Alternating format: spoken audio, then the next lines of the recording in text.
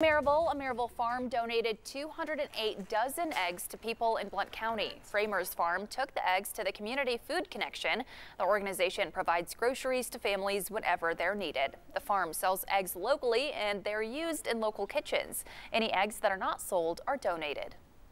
Over the summer, we probably donated over 500 dozen eggs, but we can come right here to one stop and be able to reach a lot more people. This donation comes as the bird flu, weather, and inflation are keeping egg prices near historic highs.